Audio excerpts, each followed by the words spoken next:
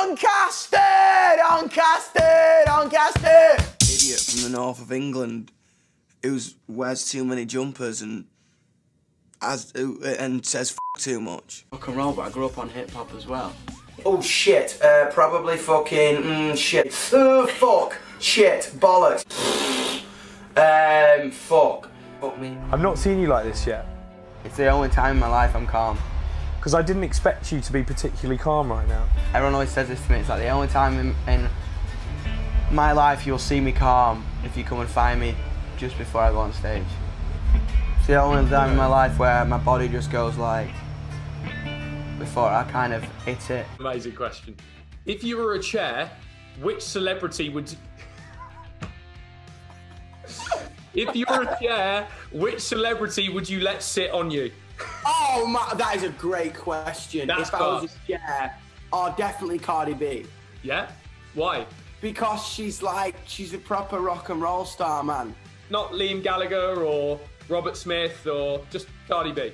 If Cardi B could sit on the chair and then Liam Gallagher could sit on a right knee and Robert Smith could sit on a left knee, that would be incredible. I mean, I would. It'd be crazy for me to hold it up. I'd be like, "Day the day that all the world will see."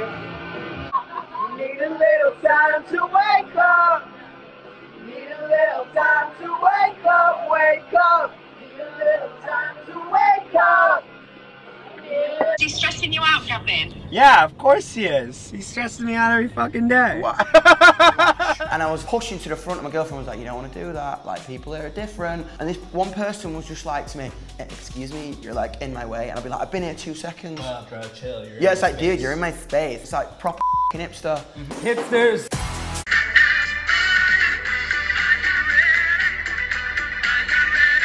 No, oh no, no, no, no, no. No one knows what is going on in the world right now. No one knows what is going to be. But what we do know is that each and every one of us has the right to love and be loved in return. So I want you to look at a person next to you right now, whoever you're with, tell them you love them, give them a quick snog, because without love, we are all fucked. Yeah, but it was, it was always music, man. Do you know what I mean? I think I don't think um, I could have been an accountant. Yeah.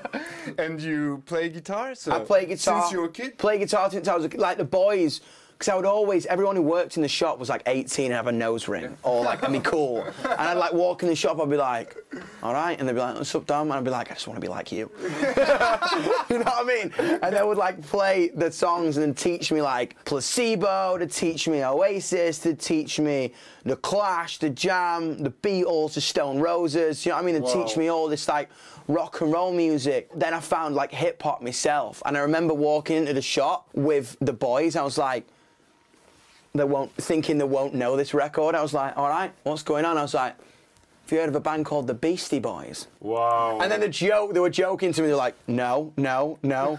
And I was like, ah, because I thought I was really cool. I was like 11, found the Beastie Boys, played like Sabotage. Everyone in the shop was like being so nice because they were pretending not to know who the Beastie Boys were until the verse came in and everyone just went, oh, okay, Stan. I was like, no. I was like, Eddie YUNGBLUD from Doncaster, Northern England. Don't you forget it. I'm good, man. Good to see ya. You look a bit tired. We had a bit of a mental light night last night. But you'd know that because you're holding my hair back. Would you like I'm a drink? I'm- I'm- I'm gagging. Yeah. But I'm literally a tiger right now. I had a couple of They'll be like, they'll just look at you so funny. It's like, you know I mean? It's like, it's like even if someone's feet stink in America, it's like, oh my God, hi, well, like your feet are amazing. Do you know what I mean? Yeah, even my own lyrics, yeah, sometimes I... I forget lyrics on stage all the time. So I just literally just my, my trick is I just put the cam uh, the mic out to the crowd. Like if you watch a show of mine, it's like.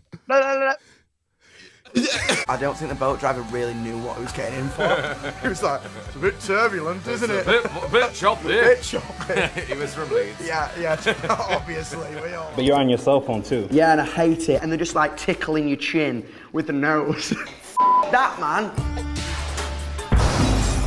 I'm just gonna get rid of that. Just for, just for uh, my sanity. I had all my fucking ki- geezers with the hoods on and me and me fucking makeup just like on the mic, like just. Speed. Lesson in sampling. Let's speed it up. Do you know what I mean? It just fucking grooves so much more.